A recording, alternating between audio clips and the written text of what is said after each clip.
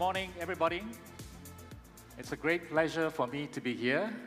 Dr. Binh, thank you so much for inviting NVIDIA to be part of this very uh, important uh, event, FPT Tech Day 2024.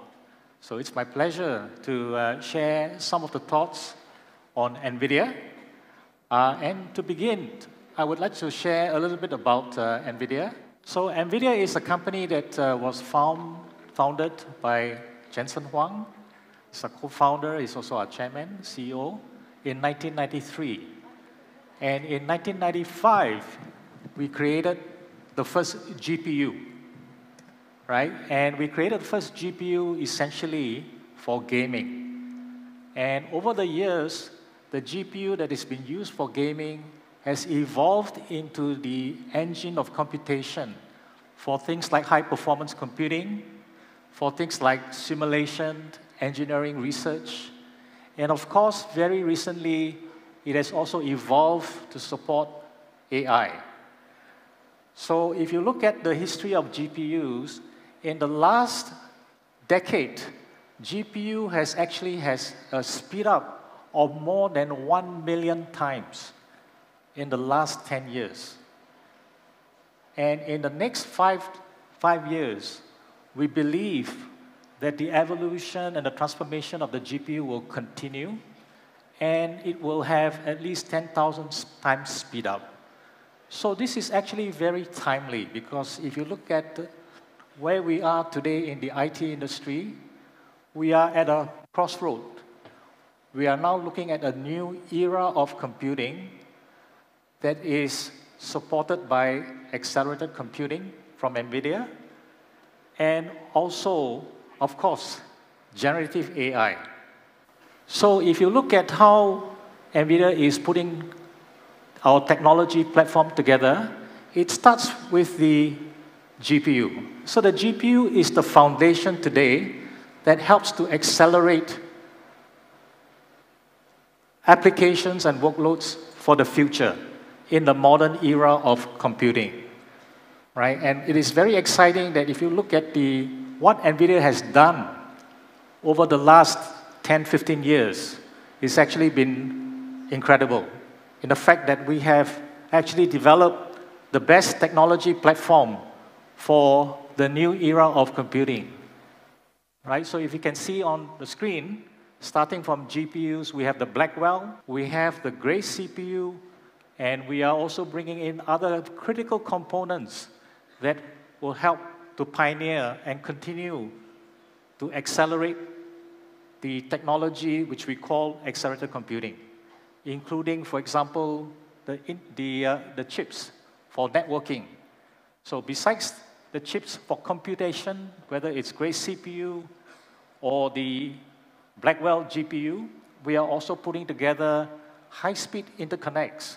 For example, the Quantum 3, which is based on InfiniBand very high speed.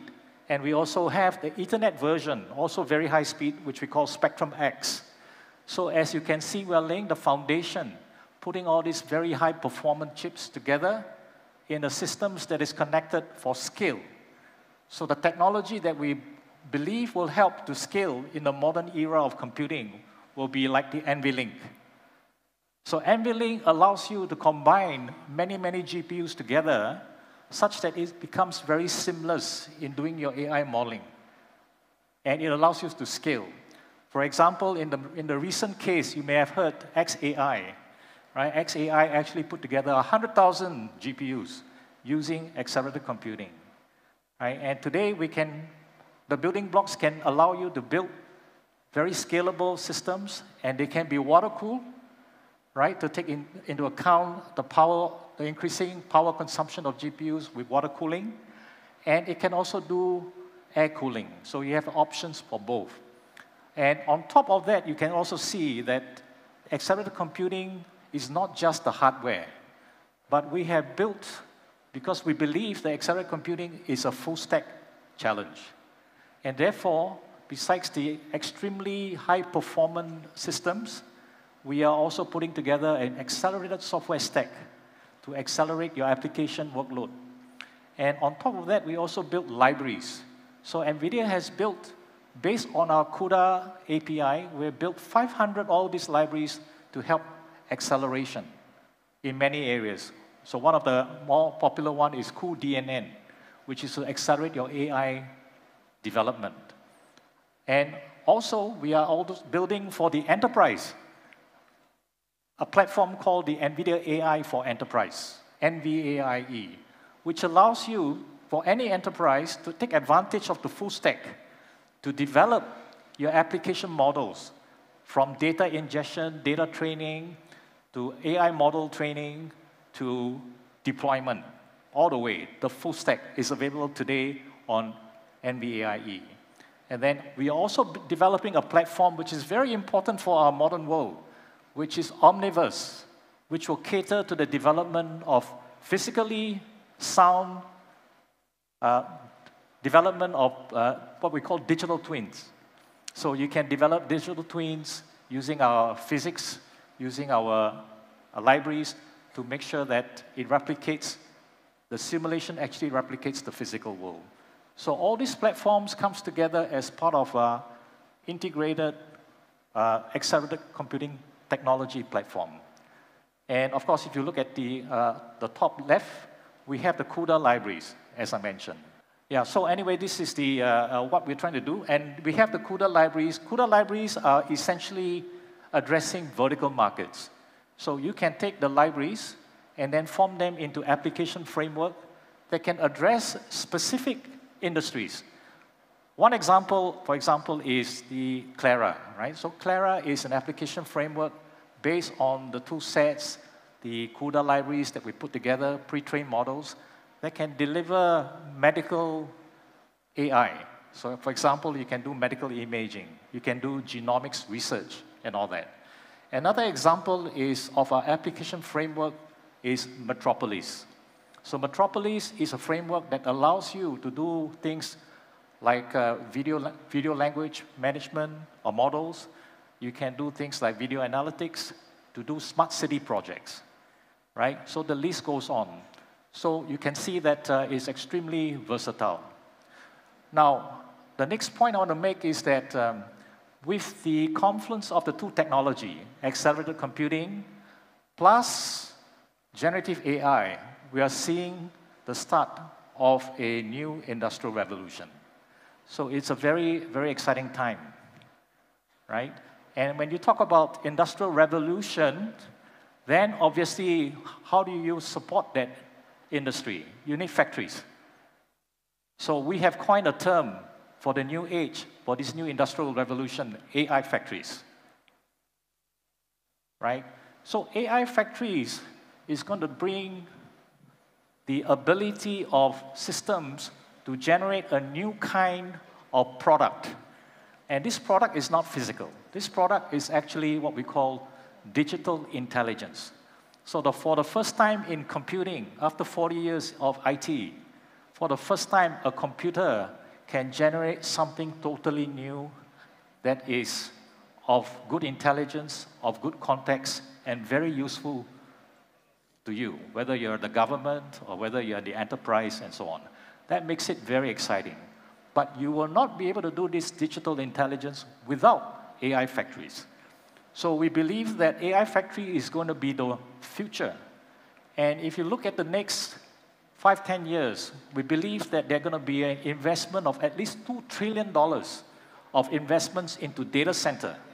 And these data centers will be AI data centers, and these data centers will be housing AI factories.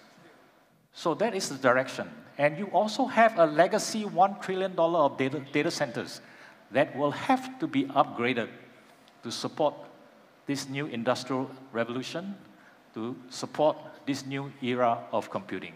So if you look at all this, it's really a very exciting time, right?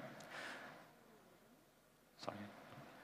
And uh, we believe that the industrial, the industrial revolution will power, will help to power and help 100 trillion dollars value uh, valuation of the top enterprises to adapt to this new new world by embracing generative AI, right? Whether they're in manufacturing, in telco, and FSI, the opportunity is really immense, right? $100 trillion of valuation of companies out there that will be served by these AI factories.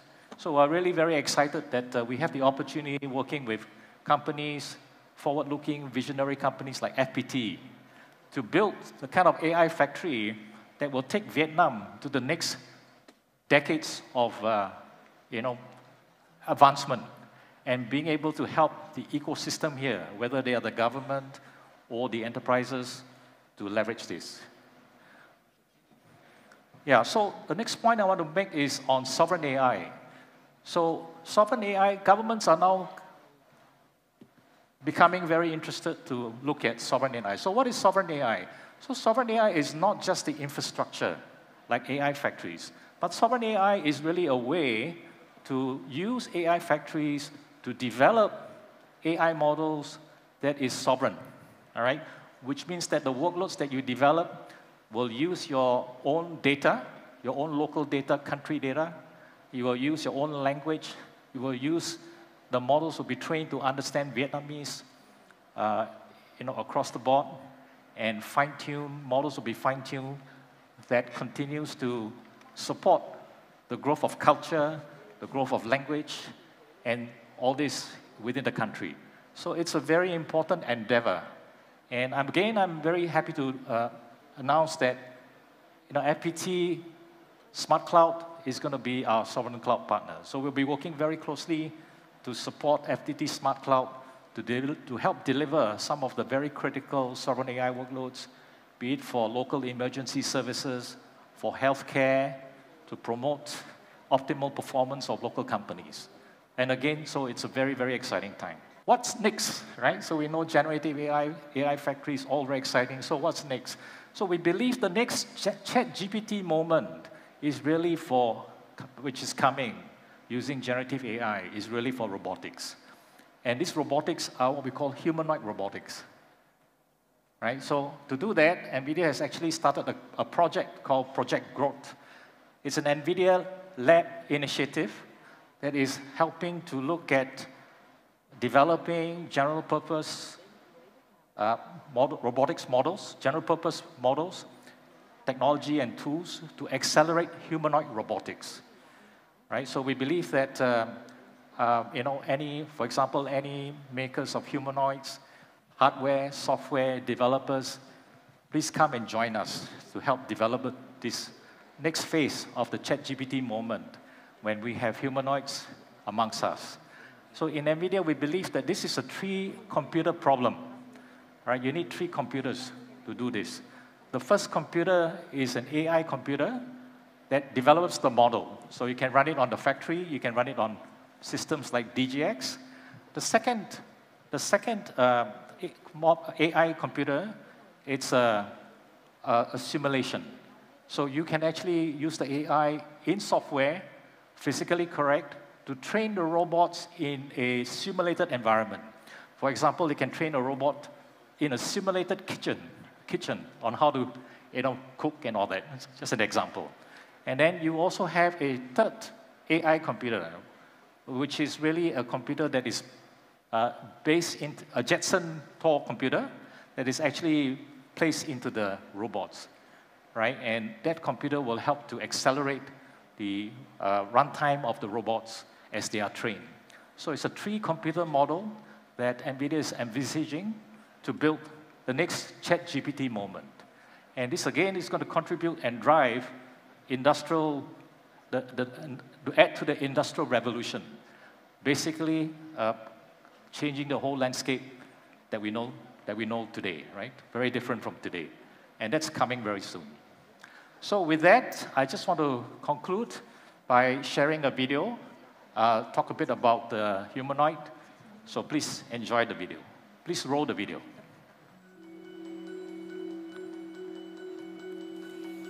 The era of physical AI is here. Physical AI, models that can understand and interact with the physical world, will embody robots. Many will be humanoid robots. Developing these advanced robots is complex, requiring vast amounts of data and workload orchestration across diverse computing infrastructures. NVIDIA is working to simplify and accelerate developer workflows with three computing platforms NVIDIA AI, Omniverse, and Jetson Thor, plus generative AI enabled developer tools. To accelerate Project Groot, a general humanoid robot foundation model, NVIDIA researchers capture human demonstrations, seeing the robot's hands in spatial overlay over the physical world. They then use RoboCasa, a generative simulation framework integrated into NVIDIA Isaac Lab to produce a massive number of environments and layouts. They increase their data size using MimicGen NIM, which helps them generate large-scale synthetic motion datasets based on the small number of original captures. They trained the Groot model on NVIDIA DGX Cloud with the combined real and synthetic datasets. Next, they perform software-in-the-loop testing in Isaac Sim in the cloud and hardware-in-the-loop validation on Jetson Thor before deploying the improved model to the real robots. NVIDIA Osmo Robotics Cloud Compute Orchestration Service manages job assignment and scaling across distributed resources throughout the workflow. Together, these computing platforms are empowering developers worldwide to bring us into the age of physical AI-powered humanoid robots.